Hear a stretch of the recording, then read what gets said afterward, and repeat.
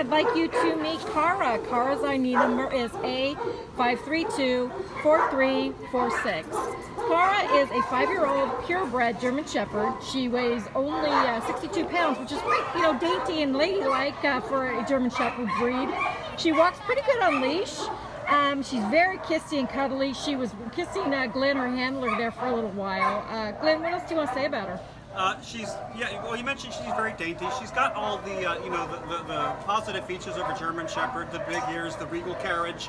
Um, it's like walking a little tiger. Uh, she's she could use a little bit of leash work. She's a little bit curious about her surroundings right now, uh, but for all that, she doesn't really pull all that hard. So she's not that hard to walk. Um, she's got a lot of energy. So we're looking for somebody uh, you know with an active lifestyle to help uh, complement her desire to go on long walks and explore the world. She'd be happy to explore the world with you.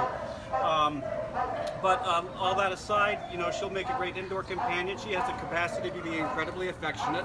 Uh, she loves to snuggle once she's, you know, uh, work out her curiosity about her surroundings. She'll come back to you and uh, snuggle in your lap. She's done that with me plenty. Uh, so she'll be your indoor couch companion and your outdoor explore buddy.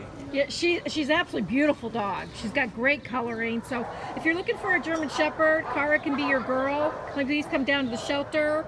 Um, her ID number is A5324346.